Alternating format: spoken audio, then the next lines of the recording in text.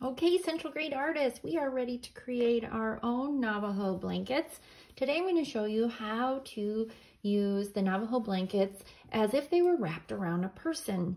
So near the bottom of your paper, we're going to create an arch.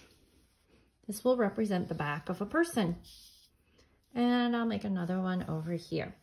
I'm going to demonstrate with two, but you're welcome to add three um, as we go on. But for demonstration purposes, I'll just work with the two. Whoops, there goes my crayon.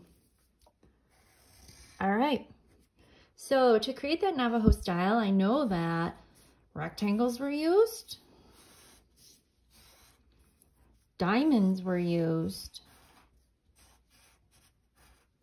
I saw some use of zigzag.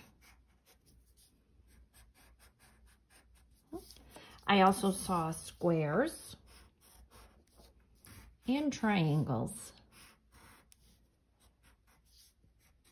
You can try and follow one from the board or create one on your own using just those simple lines and shapes that all third grade artists are able to use. Now to show that this these are people, we're going to put an oval at the top of each. And you get to be a hairstylist. So I'll use my crayon to sweep the lines down. If you wanted to show short hair or a ponytail.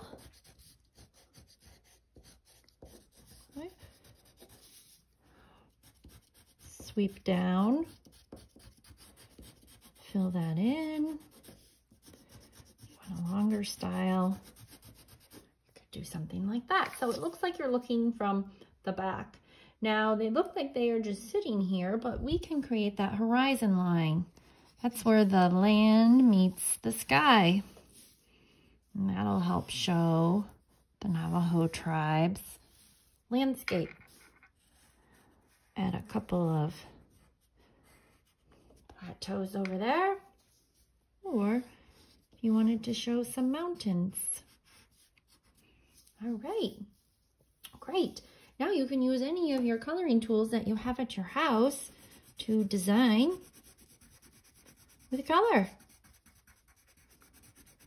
And by the time you're done, it'll look just like a blanket. Let me show you the one I have here. So here's one in design. Lots of rectangles, triangles. Here's one in color. You could also use a um, plain grocery bag. You could cut it apart and use the back side if you wanted the look of the brown. Looks like it's your turn now. Get your pencils going. Start creating.